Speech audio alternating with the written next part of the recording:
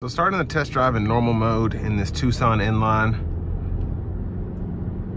surprisingly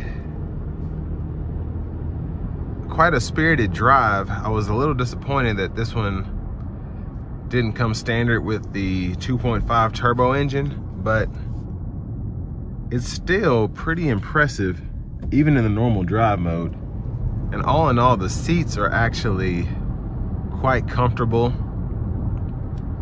and then having the option to heat them is also great. So the driving dynamics, pretty similar to just a normal Tucson. I do feel like it's a bit sportier. I don't know if it's just all in my head. It's a big possibility, but I just feel like I'm in a sportier Tucson here. Of course, with the steering wheel and just how the seats feel, that has a lot to do with it but it just feels a bit more peppy to me in this normal mode. I have it in sport now and we're gonna see how it does.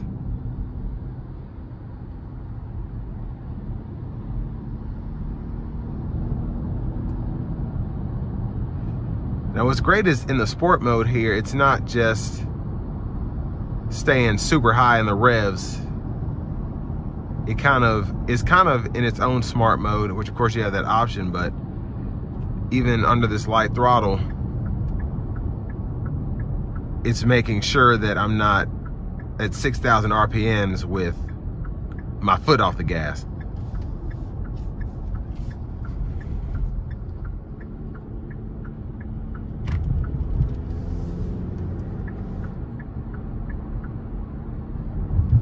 But we're gonna put it on the interstate here, see how it does.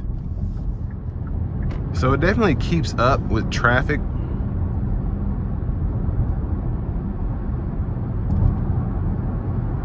And it does tend to rev higher than normal, but still nothing crazy. But then when I put my foot into it, it's ready.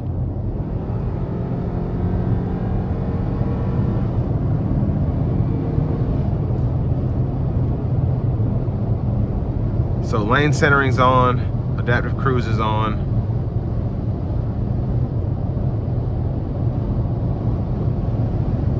And just a nice ride coming down the interstate here.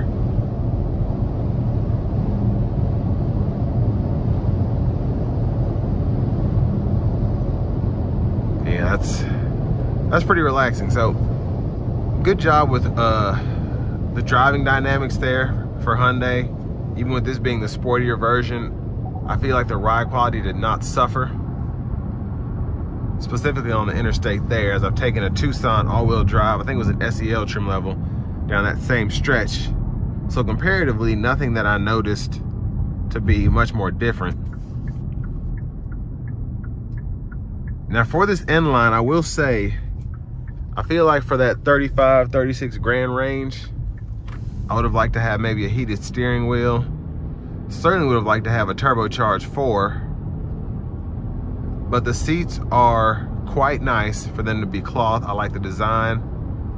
I really just like the exterior aesthetics of the Tucson very much, the N Line. It looks really, really sporty.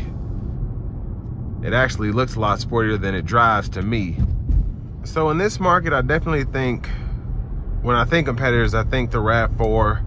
I do think the Nissan Rogue, especially as, as those have gotten bigger, that makes sense. The Chevy Equinox, and to me, this is one of the better looking ones, specifically since they redesigned it, did a super fantastic job there.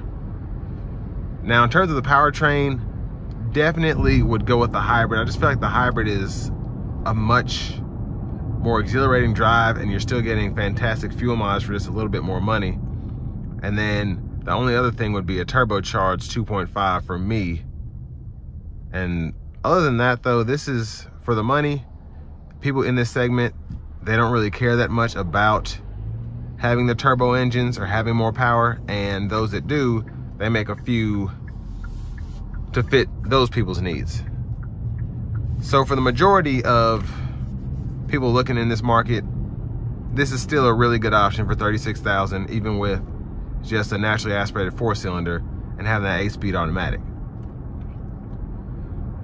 But this will bring me to the end of my review of the new 2023 Hyundai Tucson N-Line.